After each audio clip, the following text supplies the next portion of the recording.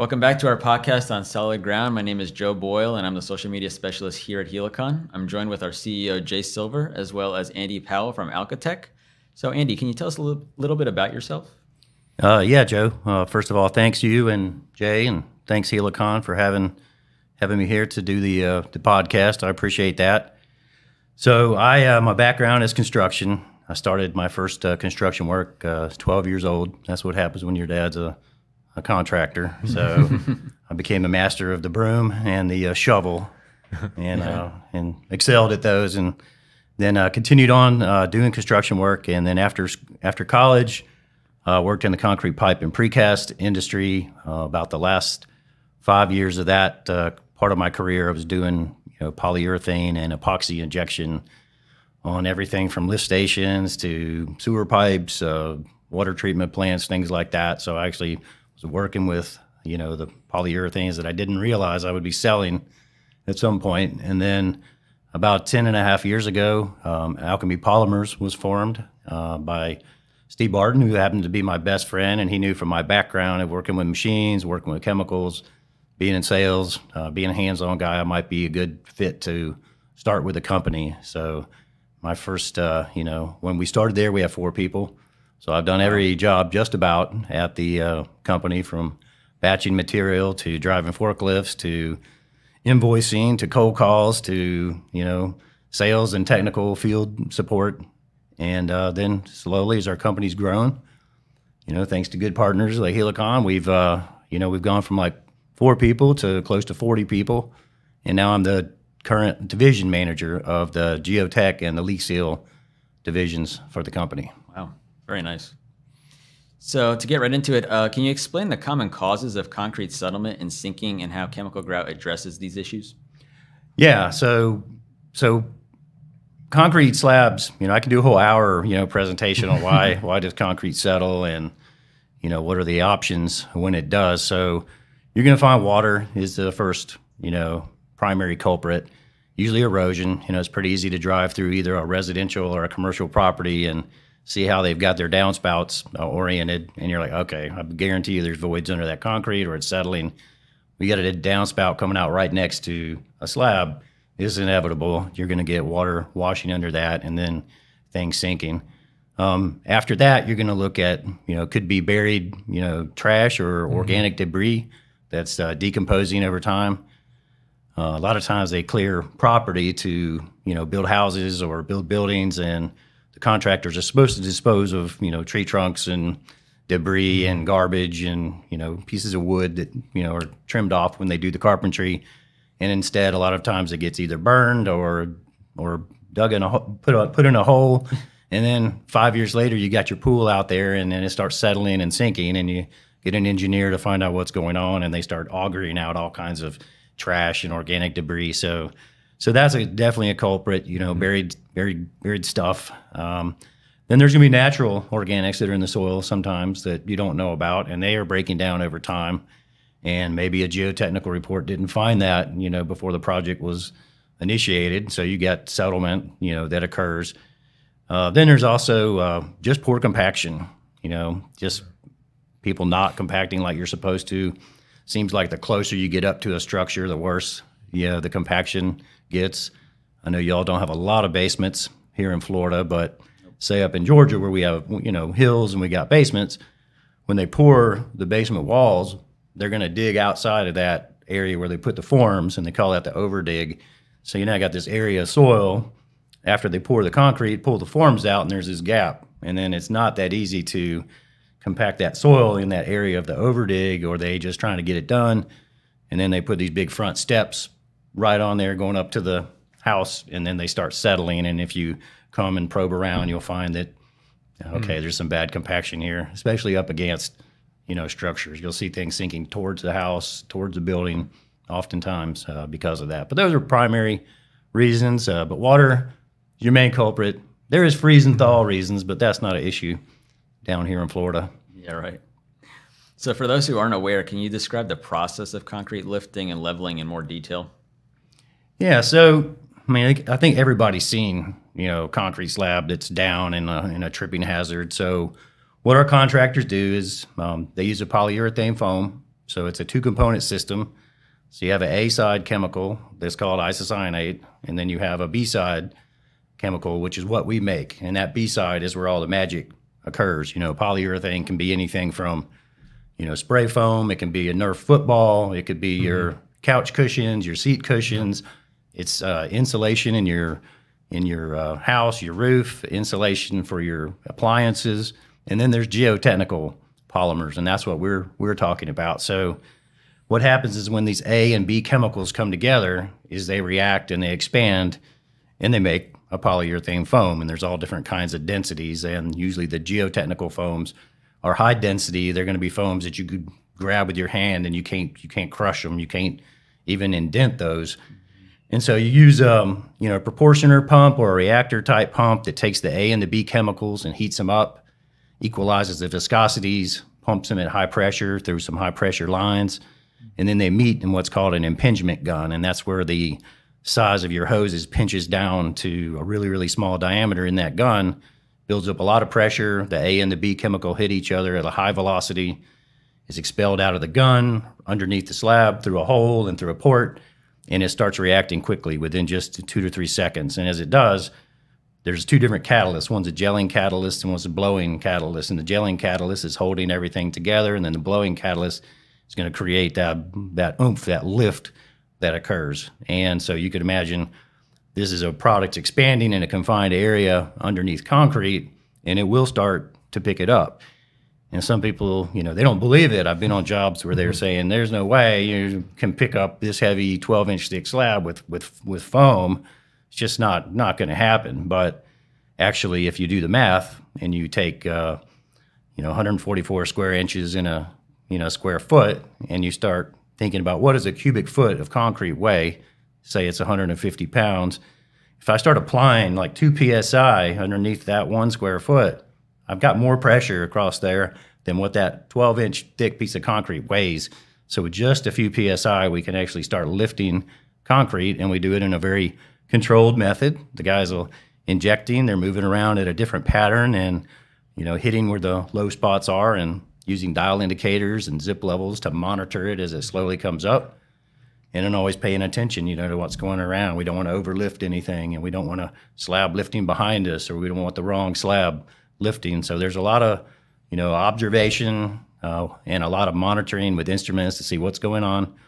And then a lot of it's just uh, common sense about where to start and, you know, where to finish. So that's hopefully that wraps uh, or explains it What's a the, what's the general strength of the material? How many pounds will it support? Is it 10,000, 14,000 pounds? Or what's the PSI strength yeah, of the so material? So if you think about what soil compaction requirement is to pour a new slab or a footing, it's going to be usually mm-hmm. 2,000 to 2,500 pounds per square foot.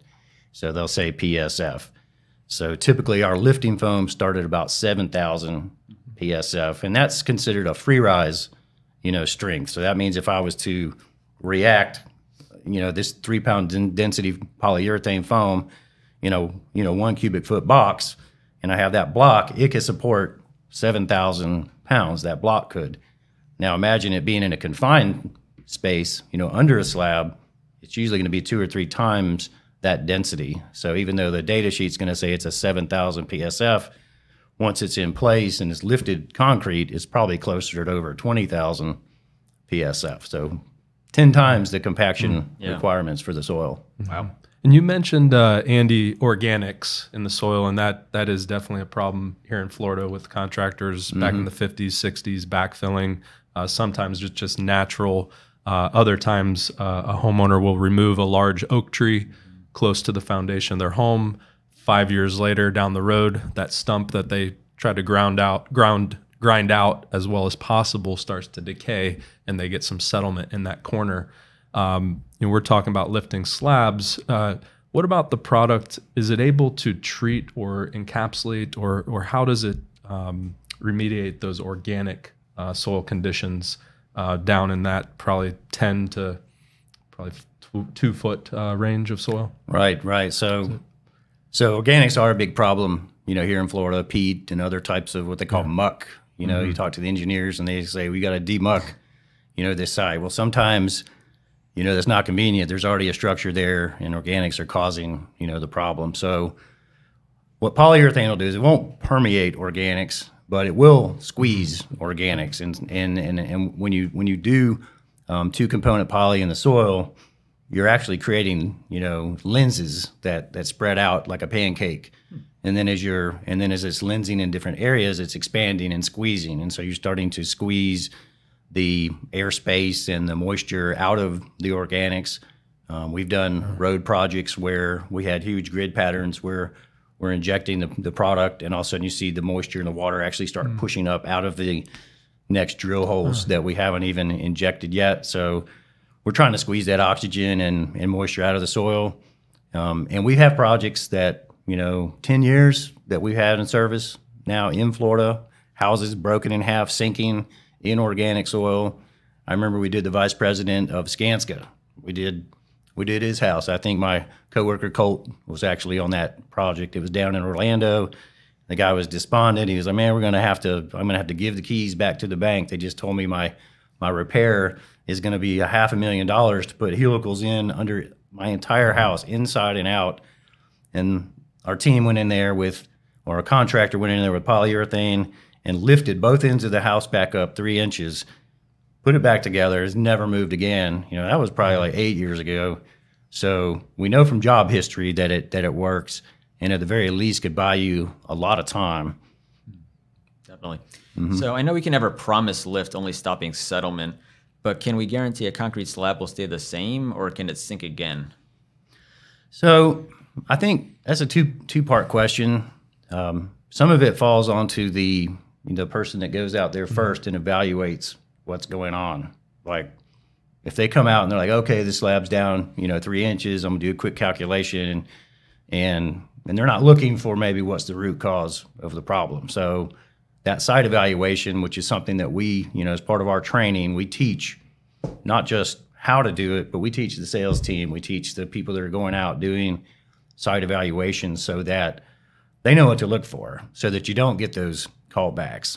So so two things could happen. One, you missed something, you you saw the slab was down, you didn't take a soil probe and probe around and find, oh, it's bad soil all the way down. I buried my my probe down five feet deep.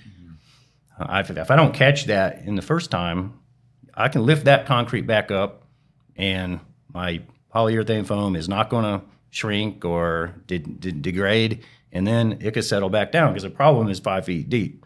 So that's a case of being missed, you know, up front.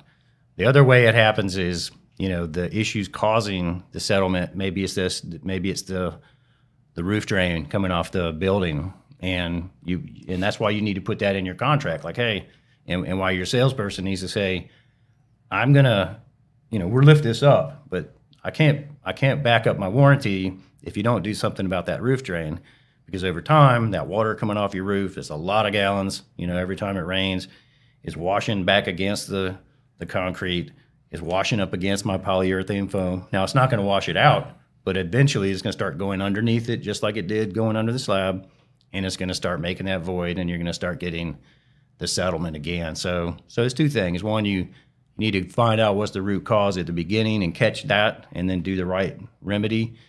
And then, secondly, uh, if there's obvious reasons that the slab's sinking, you know, primarily roof drains and things like that, you need to address that with the property owner. Right.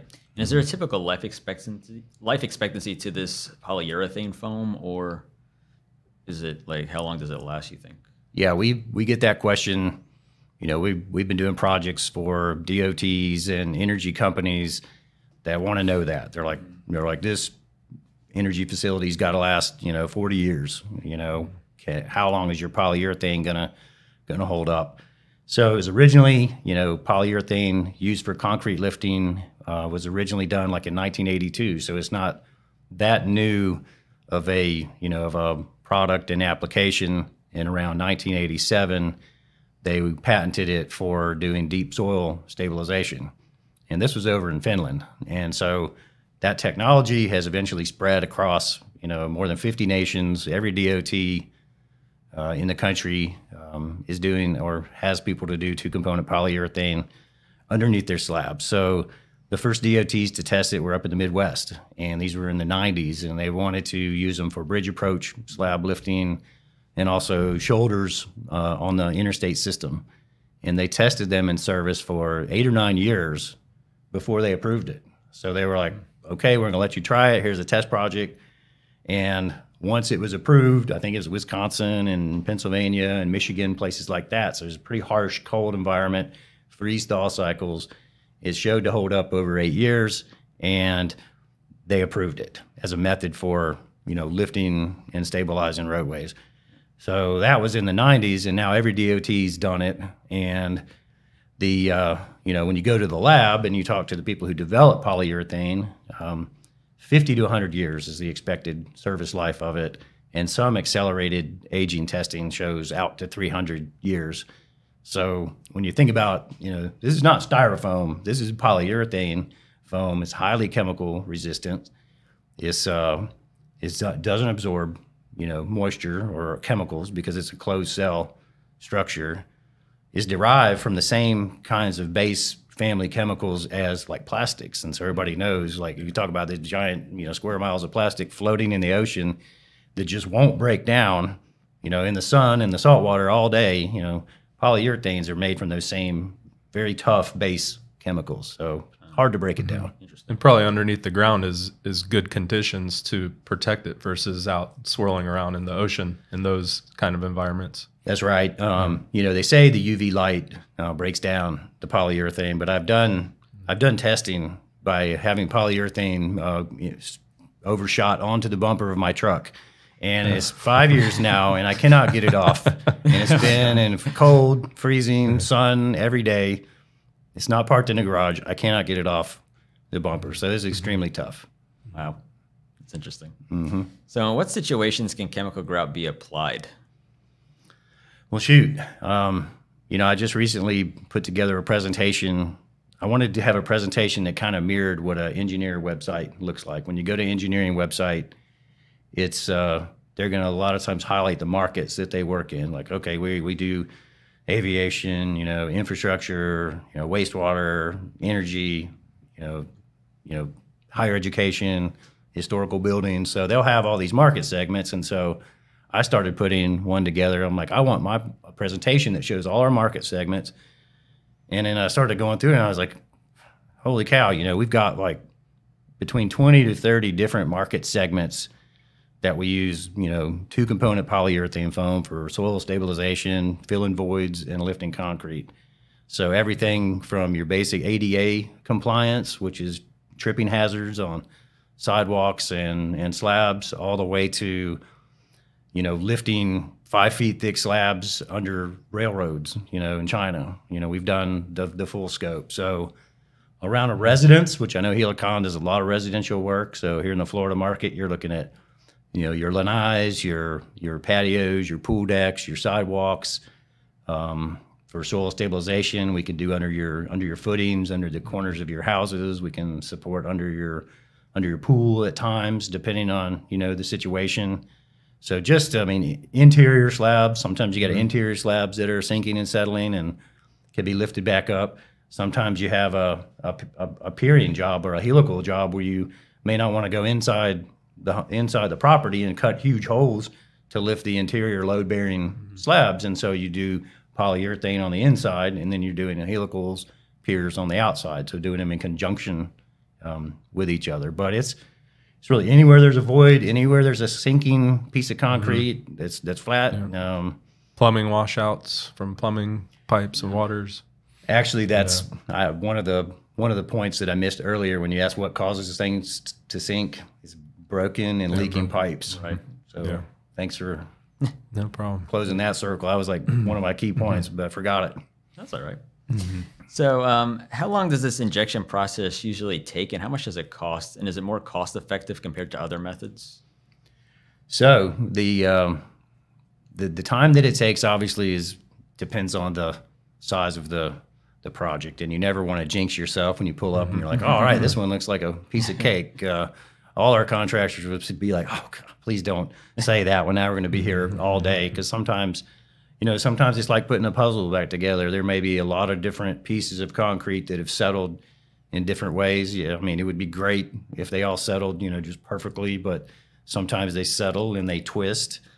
I've seen concrete in other parts of the country where they have expansive clay, where the concrete actually shifts to the side, and wow. that presents some interesting uh, challenges. So, you know, most you know good residential contractors can knock out you know a couple projects in a day. So I would say average project, you know, four hours, you know, to do to do your concrete lifting. There's some there's some prep work, you know, there's the actual lifting work, and then there's some cleanup and sometimes cosmetic work, whether it's fixing, uh, you know, the the really small drill holes, you know, for injecting the slab, or maybe you want to caulk the joints or seal cracks or things like that. But I would say typically on a residential project, you know, two a day. Although um, in training scenarios where you have it lined up and the logistics allow, I've done as many as four or five jobs in one day. You know, just depends on you know how they go and also the logistics in terms of you know, how far you have to drive from one one project to the next, and also where you live. Like when I did five in one day, I was in a small town, Right. and there was no traffic, and everything was like five minutes from each other. If we're in Atlanta, you're going to go and count for an hour at least between you know getting from one job to the next. So a little harder to do there. Yeah, definitely. Yeah, in general, to to piggyback on that, what uh, Helicon is seeing, um, yeah, some of the jobs are are half day, full day. A lot of it depends on the area that you're treating. Are you just doing slab injections only, or are you doing soil injections where there is no concrete that you have to core through to get your pipe in? But in, in general, um, we're pumping approximately probably 500 to 1,000 pounds per day. Uh, but there's so many different different factors. But it is a, a very fast process. Most of the projects, in general, are half a day to a week. I would say uh, one to five days in general. Um, but of course, there are your larger commercial projects that we're on for uh, upwards of months at a time. So it, uh, but for the home residential side, uh, I'd say typically about a half a day to three days is your your big bulk of the projects. Very non-invasive. We're we're in and out. Very minimal disruption um, to the homeowner's way of life, um, and uh, yeah, in and out Yeah. compared to. Uh, you know, we may talk with to Andy on alternative methods of of uh, ripping out and replacement um, would be a good one to to touch on and the different uh, factors of not only just cost involved in that, uh, but the time involved, and if it's a business, the impact or business interruption that that can cause, whether it's in a uh, warehouse facility. Um, we've done this product. Uh, you know, a lot of homeowners that we work with, we, we put this product underneath the slabs at NASA inside of their payload hangar uh, to support the concrete slab. So we joke around with homeowners if it's good enough for NASA, it's got to be good enough for your driveway or your pool patio or your your slabs. Yeah, yeah. Exactly. I think uh, that might segue. I think we have one of the topics we did want to touch on was what are the what are the other options, you know, for the property owner when they see they have you know a slab that's down. So uh, certainly, uh, certainly you can tear it out, which is you know a lot of times it's perfectly good concrete, and ripping it out is going to be costly. It's going to be time consuming. It's going to be messy. You're going to have a lot of other collateral damage to your property because there's probably going to be heavier equipment and noise and dust and and then uh, unfortunately a lot of that concrete that gets torn out instead of being taken and recycled it might go into a landfill or it might be dumped down a abandoned cul-de-sac. Uh, having worked in the stormwater world i found chunks of concrete down in sto- stormwater and sewer pipes where they just dump them and you know so it's not really the greenest initiative to you know rip out and replace concrete. You know cement industry is i think number two in terms of uh, co2 emissions in the world as far as an industry. So now you're like i mean i'm not the biggest tree hugger in the world but i like the environment. And there is, is an environmental statement that we can make that we're not you know you're not having to produce more cement. You're you're saving you know perfectly good you know good concrete that only settled because of you know compaction or erosion or something like that um, other other methods include uh, cementitious methods like pressure grouting mud jacking they call it super messy um, nobody can tell me what's in the what's in the formula you know it's a little of this a little of that it's some soil it's a little uh, sand? It's a little crushed limestone? Is, is there maybe a coffee can full of cement they throw in there to work as a binder? Going to put bigger holes through the concrete to lift it. Now they know what they're doing. They put the holes in the right spot. They'll lift the slab back up, and it'll be looking good. Um, you can't park on it for a couple days because it has to cure. You know, it's a concrete-based material. But then over time, that material's weak, and in exposure to the elements, it washes away and just disappears. The slab settles. Then they call Helicon to come out there. You're putting your three eighths inch hole through their one inch hole and lifting it back up. There's no there's no mud jacking material under the slab at that point. So you know, so it's it works, but it doesn't last. Um, when this started catching on with poly in the in the U.S., there's a lot of people mud jacking, and they're a fraction of what it used to be because people recognize, you know, that this is a it's a lighter weight product, it's a longer lasting product, it's a much cooler product, frankly. Make way better YouTube videos lifting mm-hmm. yeah. lifting slabs quickly with with polyurethane as opposed to uh, the cement, and it's also lightweight. So compared to a cementitious product might be 100 to 150 pounds a cubic foot putting on putting it under there on already suspect soil and now instead you can have a lightweight polymer that that gets the job done and then unfortunately there's the the last option is not do anything you know and you know i can speak for a whole hour i do presentations for uh, boma uh, ifma you know these big facility management building owners you know associations and I know what the cost is of a, a tripping hazard lawsuit. So if you have more than a quarter inch down or a quarter inch or more down on your slab, it doesn't matter if it's a residence or it's a business, you're not ADA compliant. So you're thinking, oh, it's just my sidewalk. Well, what if your neighbor comes over and trips on your sidewalk? They can sue you. And what if it's the sidewalk running in front of your house, the sidewalk that the county or the city put in? A lot of people think they're not responsible for that. Oh, that's a county sidewalk. May not necessarily be the case. It may actually be your liability to maintain the concrete that runs adjacent to your property, and the law will show that that's actually mostly the case. So, take for example in uh, Philadelphia, just a big city up north. If you have ice, say you got a you're downtown, you got a business that's got sidewalks in front of it and is covered with ice, you have to go out there and get that ice off of there as a business owner because if someone falls and slips out there, it's on you. It's not on the county, not on the city. They'll sue you. And I can tell you from um, looking for actual cases to, to, to give in my presentation, you know, say you go and Google, I want to Google, you know, tripping hazard lawsuit or someone gets hurt, you know, in a tripping, you know, situation. You have to go through like 20 or 30 pages of lawyers before you can actually get to a news story talking about where someone fell and got hurt, you know, and because it's they're looking for that, um, you know, slip, trip, and fall. You know, Walmart gets tens of thousands of lawsuits every year. You know, they're not easy to prosecute, you know, but there's a lot of people that would like to sue, and and also it's an it's an eyesore. You know, when your concrete's not level, um, it's dangerous. You don't want somebody to get hurt. I've seen people get hurt tripping on concrete and completely face plant, like an elderly person. I saw it happen right in front of me. Uh, we were at a hotel in Jacksonville, and they did a fire drill in the middle of the night, like three o'clock in the morning. I couldn't believe it. We're in a resort, so we're all piling out, having to go out the fire doors and stuff. And this elderly lady in front of me, face plants right on. I mean, it was horrible. And I look down, and there's a tripping hazard Oh wow! And I look over, and there's a roof drain, and it's like, man, mm. for a thousand bucks, you could have had somebody come and lift this concrete back up, and now you're going to get your rear end sued off, and mm. you got no case at all. And so, I would say if you don't do anything, is actually the most expensive alternative.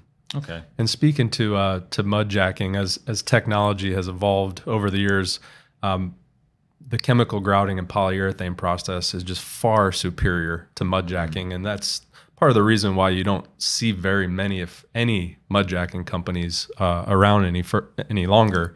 Um, we can think of countless uh, times, Andy, where we've been called out after probably five, six years after mud jacking was done. One recently was a warehouse facility They came in, did the mud jacking. It held for about five years, but you have to understand all of that weight that's put underneath doing the mud jacking. The soil beneath that was never treated, um, so that that weight just slowly compacted the soil underneath it.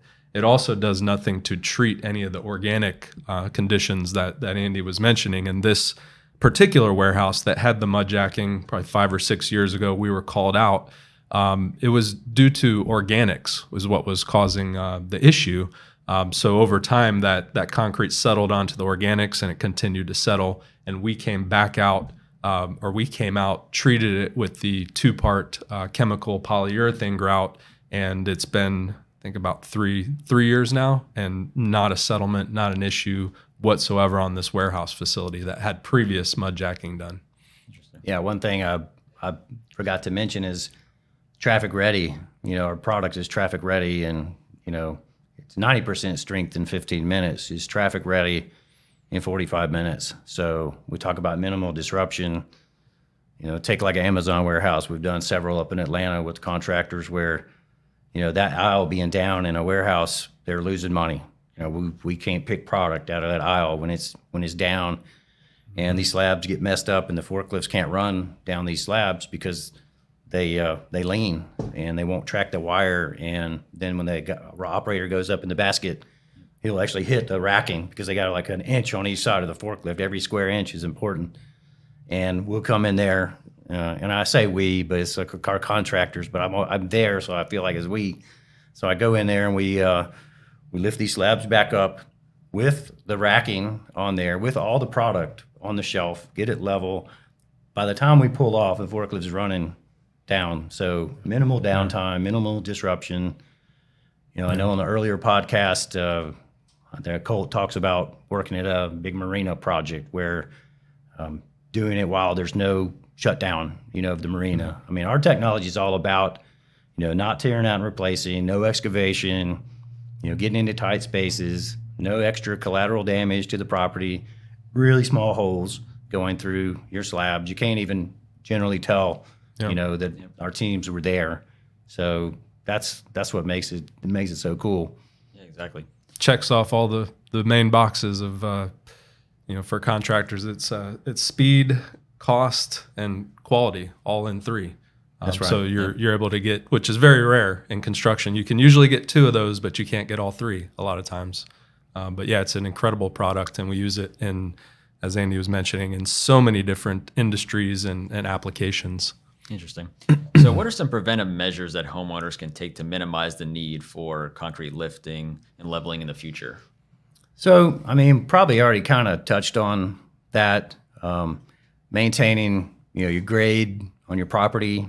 Mm-hmm. So, you know, that causes, you know, slabs to sink to improper site drainage, whether it's from your downspouts of just blows me away sometimes that I that I see houses that don't have gutters on them in places where it rains, you know, like crazy. I've seen some in Tampa, plenty, plenty in downtown, you know, parts of, you know, the inner inner parts of Tampa where some of the older houses are and you see, you know, homes with no gutters. And if anybody's lived in Tampa in the summer, they know at about three o'clock it's going to rain about three inches, you know, most of the time.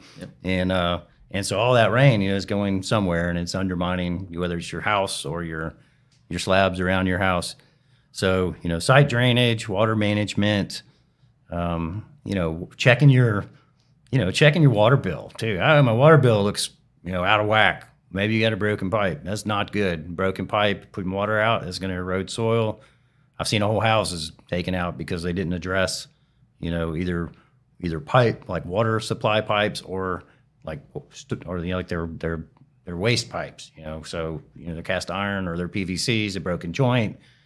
Every time they do their laundry, every time they're flush the toilet, you know, using water. People use so much water in the United States. We don't even have any idea how good we have it, how much water we use, and that stuff's just flushing out under the house and undermining things. So, just paying attention, um, looking for you know weird you know places where it's damp all the time around your house. Well, it hasn't rained in you know a week, but why is this area so damp? You know, just paying attention primarily. So that's what I would say. All right, cool. So we've recently heard there was a relationship between termites and chemical grouts. So why do some why do some polyfoam projects require termite treatment prior to the work being done? And have you heard anything about this? I don't know why they would require, you know, termite treatment. This probably comes up since uh, my 10 and a half years doing this. It's probably come up about three times where somebody said, hey, we need a, a termite, you know, we need to know if this stuff is going to resist termites. And, you know, but nobody's come to me with a case that said these termites came in and just really just got all in my polyurethane foam. So termites don't recognize, you know, polyurethane foam as a food source, but they do recognize wood as a food source, and that's why they eat the wood and burrow into it, is they're eating it. And so, but it doesn't give them any nutritional value doing the polyurethane. There's no moisture in it to get uh, either. So I just until they come to me with cases that's like, wow, we got a million cases that uh, you know all these polyurethane jobs where termites are getting into it, then then we're not we haven't had to do anything about that. And and usually it just you know the two or three times it's ever come up, it's just gone away because they don't they don't ever come to us mm. with these problems. I have talked to our our chemist and our owner about it over the years because the two times it's come up, and basically we were told, listen, until they show us is a it's an issue, we're not going to change anything. However, it would not be hard to add a termite inhibitor into a polyurethane resin without it affecting, mm. You know, the physical properties of it. So if it becomes something, you know, in the future that we'd have to address, it's not hard to do. Yeah. Yeah, I found it odd on just like you mentioned, a very small handful of our sinkhole repair um, insurance claim work. The engineer would want us to pre-treat around the foundation of the home before injecting the the polyurethane. Never made much um, sense to me, um, but it was an easy, low cost uh, process that we just went along with uh, to do. But uh, but yeah, I don't see the product as uh, uh, termites uh, using it as a food source. Uh, if anything, it would repel them. right. So what sets Alchatek's foam apart from the competitors? Why is it the best in the business? So, you know, if there were bad, you know, polyurethane, you know, suppliers in the industry, it would be bad for the industry as a whole. So we have tough competitors. We have good good competitors. Uh, I think most of them make really good, you know, really good products. Um, if I had to say what makes makes ours the best, the the fact that we we don't use any recyclable content in in our polyurethane, so um, we know how to. Um, we've had to do it in the past, like when COVID hit and when all the propylene oxide in the country production got shut down because of the ice storms in Texas.